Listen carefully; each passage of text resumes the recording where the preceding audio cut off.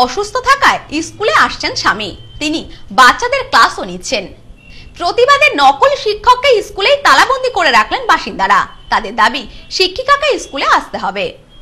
স্ত্রী অসুস্থ। অসুস্থতার কারণ দেখিয়ে দীর্ঘদিন ধরে স্কুলে আসতে পারছেন না তিনি। স্ত্রীর বদলে স্কুলে এসে ক্লাস নিচ্ছেন ইলেকট্রিক মিস্ত্রি স্বামী। প্রতিবাদে সরব হলেন এলাকাবাসীরা। তাদের দাবি, শিক্ষিকার বদলে তার স্বামীকে শিক্ষক হিসাবে মানব না। অবিলম্বে শিক্ষিকাকে স্কুলে আসতে হবে। পাশাপাশি মিড ডে মিলে নিম্নমানের খাবার দেওয়ারও অভিযোগ তুলেছেন বাসিন্দারা। প্রতিবাদে নকল শিক্ষককে স্কুলে তালাবন্দি করে রাখলেন তারা। ঘটনায় চাঞ্চল্য ছড়িয়েছে দেগঙ্গার খেজুরডাঙ্গা স্কুলে। জানা গেছে, খেজুরডাঙ্গা এসএসকে স্কুলে শিক্ষকতা করতেন শহীদুল ইসলামের স্ত্রী। তিনি কয়েকদিন ধরে স্কুলে আসছেন না। পরিবর্তে শিক্ষিকার স্বামী শহীদুল স্কুলে ক্লাস করাচ্ছেন।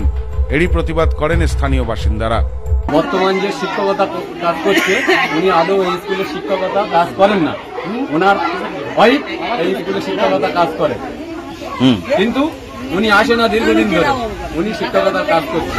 দ্বিতীয় কথা হচ্ছে আমাদের এই স্কুলের যে খাদ্যের যে প্রক্রিয়া যে সরকার গভর্নমেন্ট যে বাজেট করেছে আমরা একাধিকবার অভিযোগ করেছি মাস্টারদের কাছে যে কত কি বাজেট সেটা আমাদের লিস্ট তুলে ধরতে হবে। ওনারা আজও পর্যন্ত দেখায় না।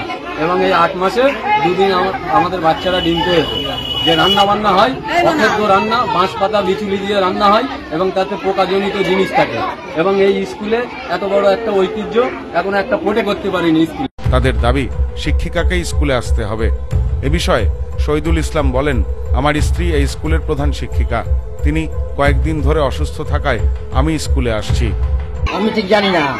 আমার ওয়াইফ হচ্ছে হেডমিস্ট্রেস এখন ওনার ভিডিও একদিন যেতে বলেছে উনি আজ আসতে পারবেন না। যার ফলে স্কুলে ডে নিয়ে আমি স্কুল হাজির আছি উনি প্রত্যেক দিনই আসে। হয়তো শরীর খারাপ পায় ব্যথা ট্যাথা থাকে যন্ত্রণা আমি এসে স্কুলটা খুলি। হ্যাঁ দীর্ঘদিন ধরে আসে না এই সমস্ত মিথ্যে কথা নকল শিক্ষক মানে ওরা আমি স্কুলের উপকারার্থে যেহেতু দেখলাম যে স্কুলটা কামাই হয়ে যাবে আমি কি করে ছেড়ে ফেলে পড়ি আমি আবার চলে যাই। তারা এসে আবার অ্যাটেন্ড করে।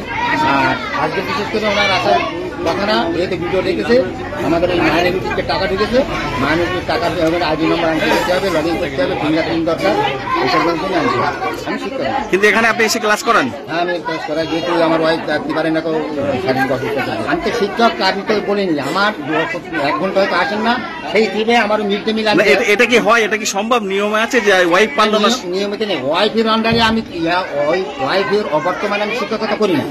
যখন ওয়াইফের শরীর খারাপ হয় তখন বাদ হয়ে আমাকে যদিও বিষয়টি মানতে চাননি বাসিন্দারা। স্কুলের শিক্ষিকা বর্তমানে নেই। এখন একটা নকল শিক্ষক আছে তিনি কোথায় পারে তা জানি না।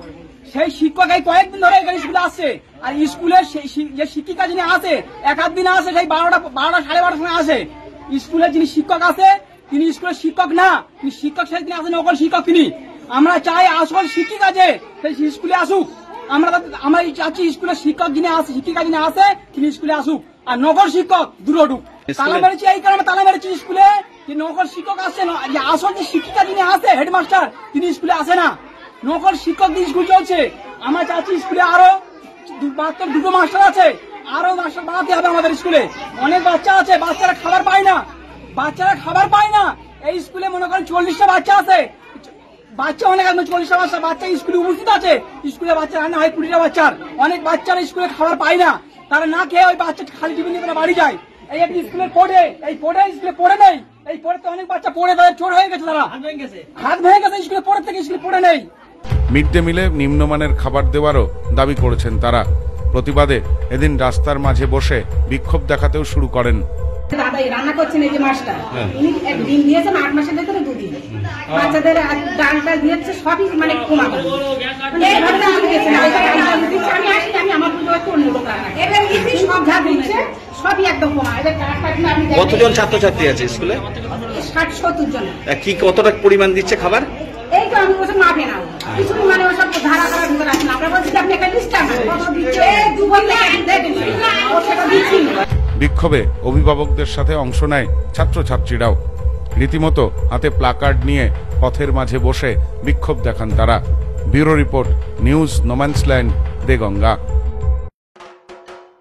Adi Mohinimohan Kanjilal বিপুল সম্ভার নিয়ে এবার বনগাঁতে। শিমুলতলা মোড়, যশোর রোড। শুভ উদ্বোধন একত্রিশে অগস্ট। সবাইকে জানাই সাদর আমন্ত্রণ।